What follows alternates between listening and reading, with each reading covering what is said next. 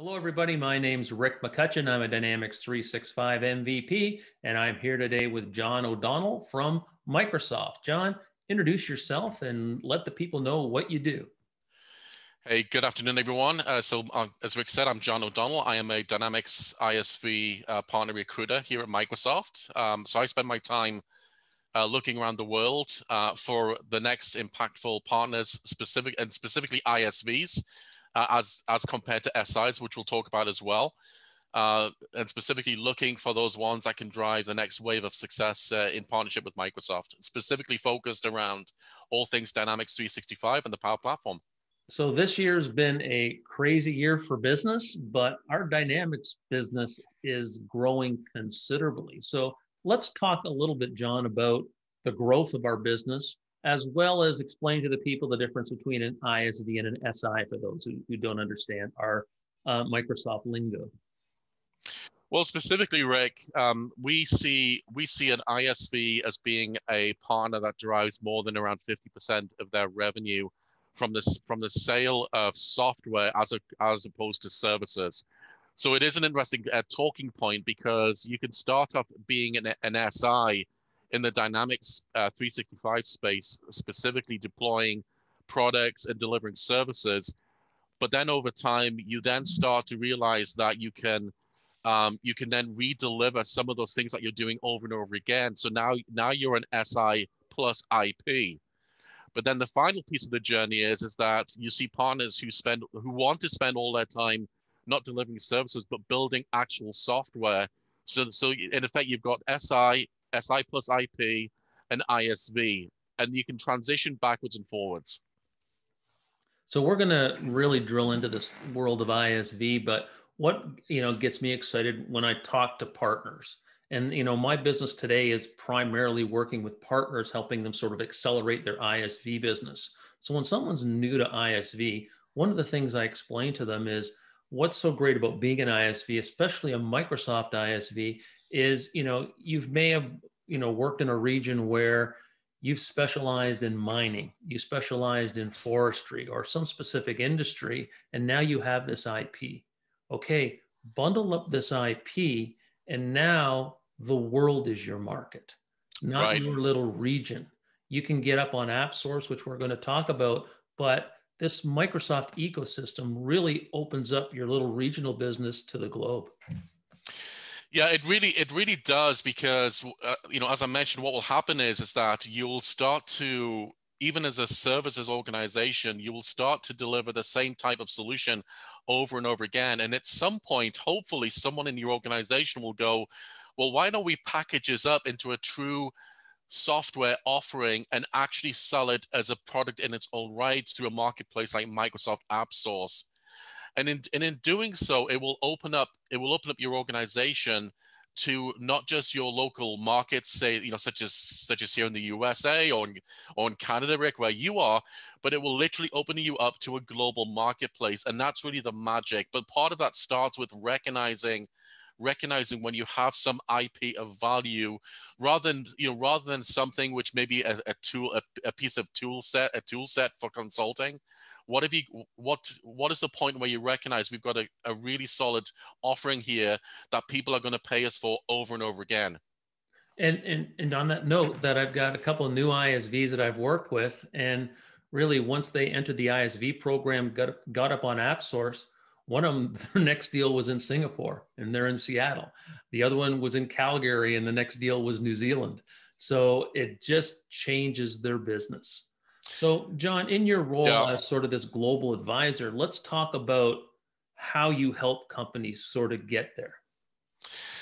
Yeah, you bring up, a, if I can just kind of backtrack just a little bit, Rick, because the comment about, um, you know, getting you know, getting an inbound call coming in from, say, Singapore, but you're an ISV uh, in uh, North America, what has been impactful for me in terms of AppSource this year was, and I even started to uh, post uh, on LinkedIn about it, the fact that I, I, made I made kind of the joking comment that you could almost tell how successful AppSource is being based upon how late into the evening I was working. what I was referring to was that um, you know, it, it was eye opening for me to have an ISV based in North America, and then I was pinged late at night for, and actually it was, it was from from both uh, Singapore and Australia saying, hey, we're, you know, we're a Microsoft seller in both Singapore and Australia.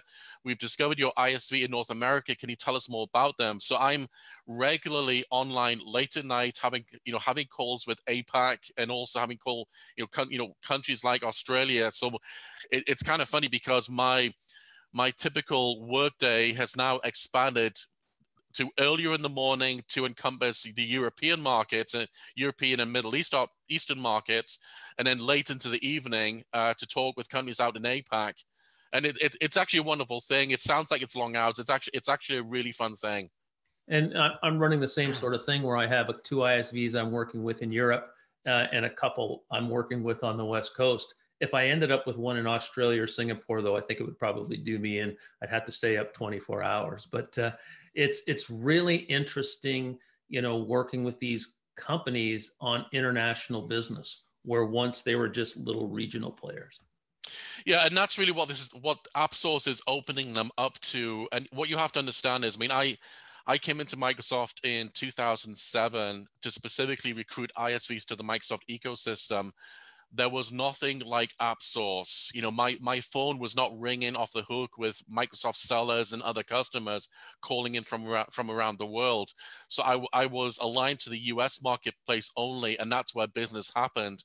Now it now AppSource is transforming the ISV ecosystem to a global community, so that even if you don't specifically target uh, you know, you, you might you might be an ISV operating solely out of the USA, I can pretty much guarantee at some point you will get a call from someone around the world saying, We've discovered your solution in an app source.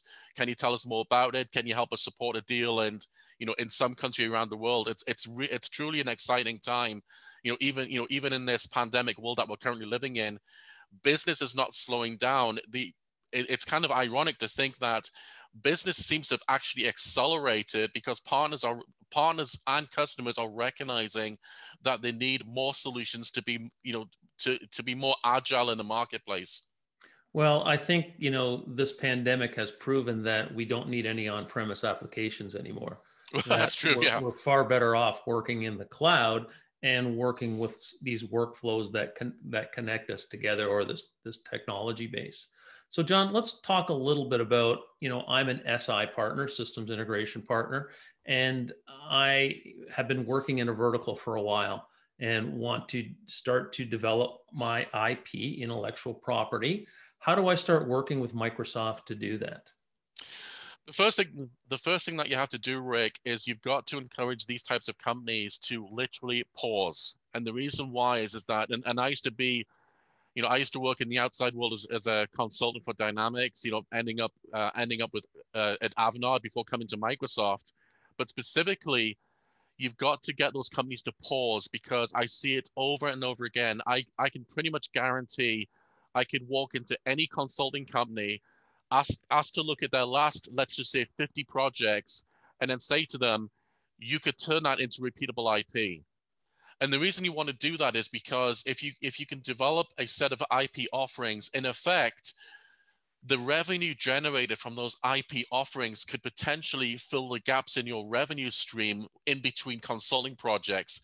So for me, it, it's almost a way to flatten out. It's almost a way to flatten out the revenue flow into your organization, because we all know that you know you you know a company will land a big consulting project, and then the project ends, and there may be a gap where some people are sitting on the bench. Absolutely. Well, what happens what happens between the big projects well guess what if you have a constant revenue stream coming in from from isv offerings it can it can fill in it can fill in those gaps but it requires every consulting company to sit down and say we've got to get better at farming our solutions the best example i can give you and i'm not going to name names because I, I work with i work with a lot of great partners around the world but in one case i did i did go to a services organization who were consulting in the Microsoft world and said, Show me your last 10 projects. 50% of those projects, in effect, they were reinventing the same thing over and over again, just a different form of it.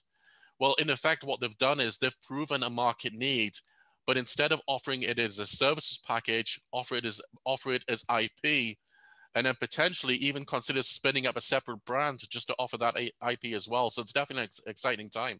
And what IP does as well is, you know, studies have mm. shown that the average software buyer is somewhere between 60 and 80% through the buying process before they actually reach out to you. If you have yep. specific IP, then you're going to start to appear in search engines. You're going to start to appear on AppSource in your category. And people are going right. to see you and say, I need to look at this company that's in Seattle or Toledo or Miami or Copenhagen that does specifically what I need because I want their expertise. And that's the big difference is people are going to look at you a lot differently. Yeah, and, and it's really about proving out your success in the marketplace. And part, and part of that is surfacing your, your organization in an ecosystem like AppSource, where you can not only offer a IP business, but you can even offer your consulting business, your consulting offerings as well. So what I will what I will see in AppSource what I will see in AppSource today is uh, a mixture of both ISV offerings as well as services offerings. And in fact, in the last 12 months, I've seen at least one case where a consulting partner has actually landed a ERP migration project from a competitive ERP to Microsoft. They've actually landed that because that customer actually found that partner through AppSource. So apps, so AppSource for me is it it's game changing. Even though I've been in this business a long time, you know, going you know going back to 2007, you know, I've got to be very clear. AppSource is a game changer because it's opening up more and more these partners to success, not just in their local regions, but around the world as well. And it's also advertising all of the capabilities that they have today. Okay, John. So now I'm a partner and I've paused. I've talked to you. Okay, I need to pause and need to look at my business and understand what IP I want to build. What's next? What's next is making sure that you fully understand the offerings that Microsoft has today. You know, Microsoft is not a Dynamics business. We're not an Azure business. We're not, an, we're not an Office 365 or Microsoft 365 business. We're a business that operates across many, many technology offerings and multiple clouds. So in my world, for example, I, you know, in your in your world as well, we'll also always talk about the Dynamics 365 and Power Platform business, but you've got to look at Microsoft all up to understand. You know, if we build if we build something on Dynamics, could we pull in components from Azure? Could we could we tie into Microsoft Teams? So you've got to you've got to look at the entire Microsoft technology uh, stack. One way to do that is to look at product pages, to look through Microsoft.com/dynamics to understand you know what technology offerings we have today do the same thing for azure do the same thing for you know microsoft 365 but then also start to consume the content that's available at partner.microsoft.com as well as well as the documentation site docs.microsoft.com it is absolutely amazing to me in the last few years how both the microsoft partner uh, partner portal but also specifically the docs uh, portal as well has grown in terms of the information it offers. Uh, so when you know, so when partners are looking for what do we go next, I would certainly go to partner. And if you're looking specifically for AppSource as well, go to aka.ms slash ISV Connect, and that will take you straight into the partner pages for the ISV Connect program. But also definitely look at docs.microsoft.com as well as product pages.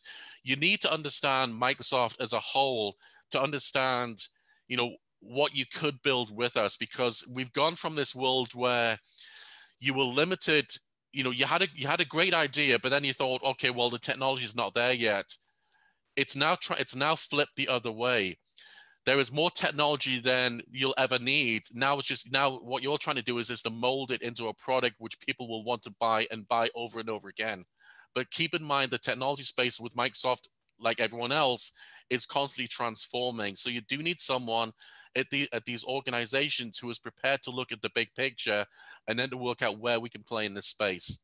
And, and that's a good point. They, they've got to understand like you know when we're talking about dynamics dynamics is just a piece right we yeah. talk about these other pieces as well i'll give you a good example i was talking to a manufacturer who does a and i'm going to introduce you to these people soon um, they do a safety uh, piece of hardware and when I looked at it, they wanted to sell it. And I'm looking at it, and the first thing came to my mind we got to integrate it with HoloLens.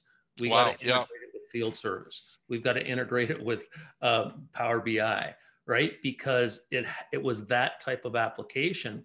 But when I was talking to this manufacturer, they don't understand our world, right? Yeah. once I started bringing all this up, you know, the guy's eyes are lighting up, and but it's true. Like, where can we take this piece of technology once we start to embed it in sort of into the Microsoft stack? Right, and, and part and part of it is it always gets back to it always gets back to visibility because any any partner could be successful driving their own business. What they need to understand is, is that Mike, the Microsoft ecosystem and Microsoft AppSource specifically is a massive multiplying effect. Uh, because once people, you know, once you launch into app source, um, you know, you put your, you put, you package up your solution, you deliver it into app source, you then put out a press release to let people know it's there. Microsoft people and, and MVPs such as yourself then spot it and say, hey, what are you guys delivering? I, I'm constantly, you know, I'm constantly staggered with what people are bringing to the marketplace. This this market is not this market is not quite it's not it's not it's not uh, quieting down it's literally exploding but now it's exploding at a global level and i'm just i'm just waiting for my you know i'm just waiting for the next isv and you just do not know where in the world the isv is going to show up and you don't know you do not know which country is going to come from. You know it's at some point i'll be getting i'll be getting an inbound call coming in from you know from microsoft japan or australia or dubai or you know or anywhere in the world. And it's it's, it's an exciting place to be. You know even even in this current even in the current pandemic that we have partners are not seeing a slowdown. They're seeing an acceleration. And again it gets back to customers are realizing that if they had not been paying attention to digitally transforming into the cloud, they better do it now. Otherwise, they will not be in business. And we, you know, we're, we're one of those partners that they can do the, do that with. Okay, John, I'm a partner. I've paused. I've looked at the Microsoft world, and I kind of have a pretty good idea where we fit in. Now, what do I do? What I would what I would be doing next would be to go to the ISV Connect pages and understand the collateral that's available there, in in terms of what can you know what could you build, how could you go to market? What would it look like if you launched into app source, the app ecosystem? And then you've almost got to project, you've almost got to project out. I still see many partners thinking, you know, they they they think from a a point in time now, let's start building. You've got to project to the other end where you launch the product and then backtrack from there. You know, I, I used to I used to do Microsoft project support. So I think I think uh, I think of, of the world in terms of Gantt charts. And I want to see a Gantt chart that says, if we're starting today, what is it going to take to get you to the end result? Which means there is a there is an app in the marketplace, and you're about to land the first deal, and what and how do you, how do you backtrack to that point? Because every partner will have different needs. There is no there is no defined recipe. That there is a there is a very high level recipe that says, okay, you've got to you've got to have the right technical enablement. You've got to, your people have to have the right skill set we can we we have online training that can get you through the skill set needed. We also we also can introduce you to development partners who can also act as an accelerator as well. But ultimately it all comes to the end result. You want to be in the marketplace with a solution that you are proud of with a solution that you will keep investing in. And then at that point success starts to drive itself. I, I like to tell people it's a bit like pushing a snowball up a hill you get the app in the marketplace, you get a you get a few uh, opportunities in the pipeline, and it starts accelerating, and it starts accelerating really really quickly, and you and, and it's really it really is about getting on board the Microsoft train, you know, for the you know for success down the line. It's really an exciting place to be. But so, certainly, go ahead. So John, I've paused. I've looked at the Microsoft stack. I've decided what we're going to build. I've got a developer. I went to a third party developer. Now we've got the product built. How do I get it on AppSource? How do I get it on the marketplace? So, so what you would do is you there's a couple of there's a, a couple of steps you go to. First of all, you would you need to sign a an, an, an, app agreement in Microsoft, which gives you permission to publish into the marketplace.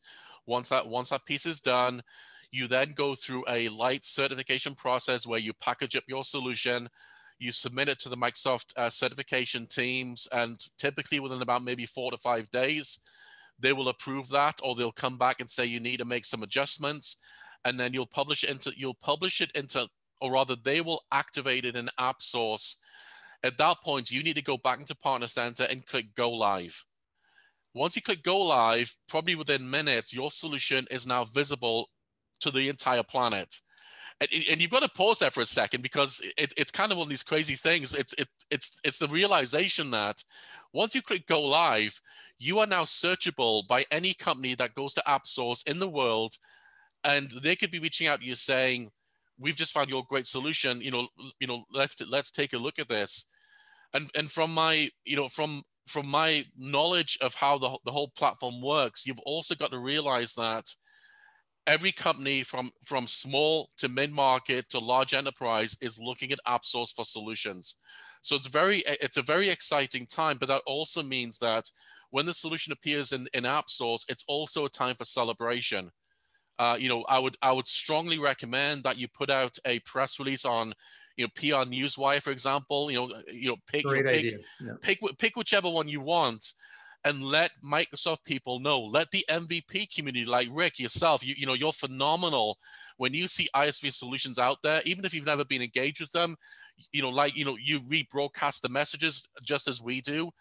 We are trying, we are trying to, we are working to build a global successful story. Even if I, even if I, even if I never personally will engage in ISV, you know, it's not, it's not on my target list. One of my colleagues has worked with them it doesn't matter to me. I will still re-amplify the story. And once the story gets out there and starts building traction, that's when success starts to happen. And that then further encourages the ISV to keep investing in that solution, keep updating the marketing on AppSource as well, and just keep driving for success. So, one of the things that people don't realize as well is once it goes up on AppSource, you've got several audiences that are going to come to it. You've got end user customers looking for that solution. You've got partners who are looking for a co-sell, or uh, we should say a P2P uh, yep. arrangement, partner to partner arrangement. And you've got Microsoft sellers who right. are looking for um, specific applications to solve the customer's problems. So you're not just the end user customer. You all of a sudden now open yourself up to a reseller channel right. um, that can really support you. So john i know we've had conversations about this in the past. What can somebody do to optimize that AppSource um, uh, listing to get the most from it? Oh it's it's it's it's kind of been my passion for the last few months rick. Um, looking at listings in AppSource and working out you know can they be better and there's and there's a couple of lessons I've learned or, or a couple of patterns that I've seen you can see you can see a pattern where, for example, you can tell the listings where the partner's marketing team were not involved. So you can you can see where the technologists developed this phenomenal solution. They got into the marketplace. They they built out a basic listing and they published it into AppSource. I then go into I then go into other ecosystems where potentially the partner has also published, and, and I'm looking at the two listings going, why is one reading better than, than the other? And it's because on the other one, they pulled in the marketing team. So if you're if you're if you're a company that has a phenomenal marketing marketing team, please please get them involved in reviewing the listing because they know exactly how to fine tune the messaging so that it so that it is compelling.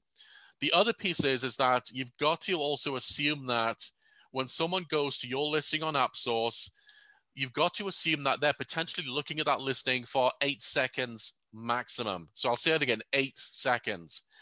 This is this is like someone opening up a newspaper and each story is competing for your attention.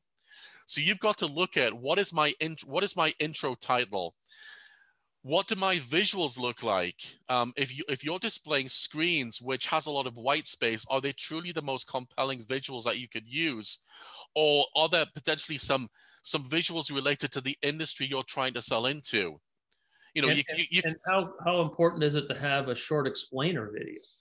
Yeah, exactly, exactly. But it, it would almost be like um, it would almost be like if you are selling if you were trying to target the oil and gas industry, you know, is is, is your is your screenshot going to be as impactful as maybe a shot of a helicopter landing on an oil platform you know, in the in on the off the Gulf Coast, for example. What I would all what I would also do next is compare your listing against your competitors, both on AppSource as well as other ecosystems that are out there, and be honest and just look at this and say which is better. You know, which which which one would grab your attention the most. Now, and my, just just on that point, not just you look at it, have some other people look at it too. Right. And, and, and actually, you, you might have seen me posting about this idea of, you know, what I call mystery shopping. It's this idea that if you could take someone who wanted your type of solution, what are they going to search for when they come into AppSource? And it's it's truly like a mystery shopper type of, of scenario. You're you're trying to work the system. You're trying to work out are there words and phrases that people will search for that my listing doesn't have, and therefore my listing doesn't appear. And the and the most I think the the key point here is you've you've got to pay attention to what the what the analyst firms are saying, because if they're using acronyms for your industry, and your listing doesn't have them, what will happen is is that your competitors will be picked up because they you know they did their due diligence yes. and said okay i'm going to make sure that hey if, if analyst abc has is using a particular acronym the likelihood is people will come into AppSource, type in the same acronym, and your listing has to your listing has to basically react. What that really gets down to is is that a listing in AppSource is not a it's not the end of the story, it's the start. And what that really means is, is that you've almost got to look at this on a month by month basis.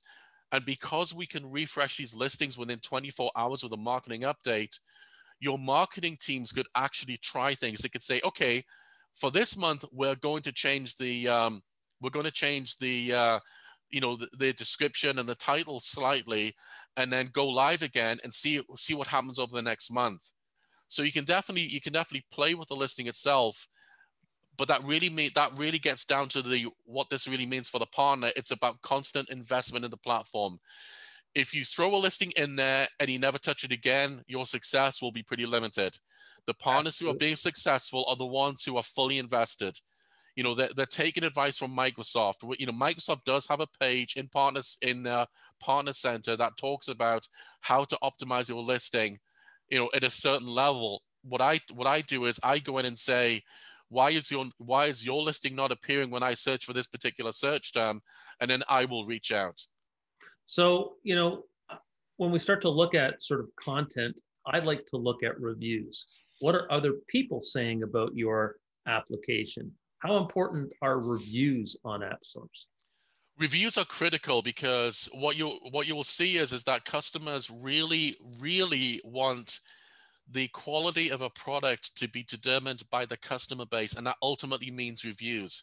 So if you're an ISV where you've sold this multiple times, you have to almost put in as part of your process with a customer, please give us a review on AppSource.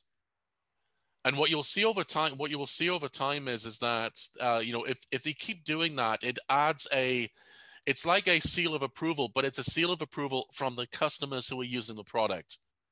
And if you keep doing that enough, it, you know, at some point you reach a tipping point where it becomes obvious that if solution one has zero reviews and solution two has 50 reviews, which one are you going to look at first? Now that doesn't mean that the solution that's got zero reviews. I mean, it could be it could be new in the marketplace, but it may it may be that they've got to do more creative marketing to get people to realize, look at us as well. They're starting behind you. If you have yes. better reviews and they don't, they're starting behind you. In fact, one partner I talked to last week said these reviews are so important to his business because he's a, in a very competitive ISV marketplace. Right. Is that he'll ask the customer to put it in a review. If he doesn't get one, he'll he'll figure out what he can give the customer to do it. So the customer right. says, I really need this done by Friday. Okay, I'll get it done for you by Friday. Please have a review up by Friday for me. So he starts negotiating reviews. And he says it's absolutely worth it because so many, he's now competing to against one of the big industry giants with his little, you know, 20 man company. Um, and he says it's really the reviews doing it for him. Yeah, and that's really exciting, especially if the customer just, you know, if the customer puts in honest reviews. I mean, if if someone say if someone says, um, you know, if someone says this is a great product, uh, if they did something else, we give them five stars, but right now we're giving them four yes. then potentially they could you know the isv could respond deliver that feature and then they up it to a five star review. But it's but it's a it's a it's a great point. Customers customers have choice and it, it's just it's just like us as consumers. What do we do? We look at customer reviews to determine is this a product i should at least be paying attention to? But that also gets back to you know that also means that you've got to look for avenues to market as well. You know, again, when you look at um, when you when you look at LinkedIn, and when we go back to the ISV putting out an original post to say our solution is in the marketplace, one of the things I've I've started doing a, a lot more of over the last 12 months is making sure I'm adding appropriate hashtags. So a great example was one of my one of my ISVs launched a solution that would target the insurance sector. And it's kind of staggering because some of these hashtags will have literally multiple millions of followers. In one case, and I can't remember which one which one it was, there was actually four and a half million followers who had signed who were following a particular hashtag on LinkedIn. So before any ISV launches, they've literally got to start looking at the hashtags to make sure that when they put out their press release, they can tie to those as well. So it's definitely it's definitely a it's definitely a combination of things, but you've got to keep exploring AppSource and you've got to you've got to keep making sure that you know if if one of your competitive if a solution that is competitive to you seems to be getting attention is it is it because it's a better product or is it because they're doing more creative marketing? Are they using better screenshots more impactful screenshots? Or you know is there one line is there one line tag a bit more compelling than yours? Because again if you look at a solution on the AppSource and you read the description and you're sitting there going, I still don't do not know what the solution does, that's a marketing issue. It all comes back to if you've got if you've got access to a marketing team or a marketing person, take advantage of them because they are the experts at getting a message out. John, I want to thank you. This has been a great conversation. You know, we're going into a new year and Absolutely. This ISV marketplace is going to keep growing. So I want to come back and talk to you some more in the future about what it means to be a Microsoft ISV and, you know, the opportunities it's it, it can bring you. Appreciate the opportunity, Rick. It's it's definitely been a it's it's been a it's been a challenging, but it's been a fun 12 months, and the partner ecosystem uh, has you know it, it's for me it's it's just an exciting place to be and I'm always thinking what's going to be launched, what's coming next in uh, 2021 from the ISV's perspective. So greatly appreciate the opportunity and look forward to you know future opportunities. Okay, John. Thank you. Thanks, Rick.